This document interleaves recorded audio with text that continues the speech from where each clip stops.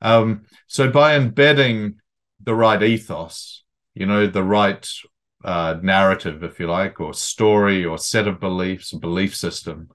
early days, um, it tends to impact uh, the way be the, the, the the emotional psychological environment that people exist within, and align everybody in the same area, create norms and and standards that people understand and and and and feel a sense of ownership, create that belief and belonging, kind of set the team in the right direction. And I think one of the extraordinary things is that